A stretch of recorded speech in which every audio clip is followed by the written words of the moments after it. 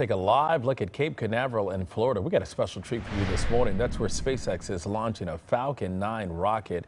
It's carrying four dozen Starlink internet satellites into space. And if all goes to plan, goes as planned rather, about nine minutes later, the Falcon 9 first stage will return to Earth and land on a SpaceX drone ship in the Atlantic Ocean. Let's listen in for a second. And liftoff, Falcon 9, starting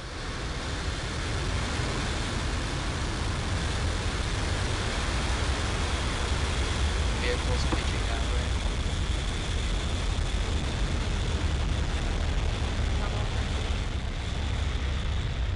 And it looks like a beautiful launch yeah, so far. Yeah, talk about a perfect launch so far. Yes, and you know, just recently, Elon Musk had approved SpaceX, SpaceX Starlink satellites to provide Wi-Fi to Ukraine, which is mm -hmm. incredible. So we've been seeing these launches for the last couple of years. Of course, the goal is to provide Wi-Fi worldwide, but also nice when you hear about countries who are at war, you are able to help people still gain access to the internet when they've been bombarded by missiles and strikes in their country. That is most certainly the case there. And again, as we take a live look at this uh, SpaceX a launch here. It appears that everything is moving smoothly there. The weather is uh, cooperating, which is always good when the, uh, the skies are clear here. Again, uh, SpaceX launching uh, four dozen Starlink internet satellites. And uh, the land, uh, they're going to return that rocket at some point today.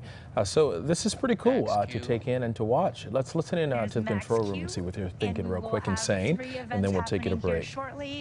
We will have main engine cutoff, stage separation, and second engine startup one.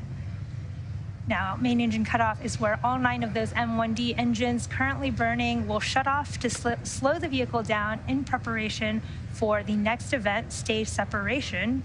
Now, this is where the first and second stages will separate. Now, the start of our second engine MVAC chill has started, as you just heard. After stage separation, the first stage will make its way back down to Earth for landing, uh, whereas the second stage will continue on its journey to the third event of second engine startup one.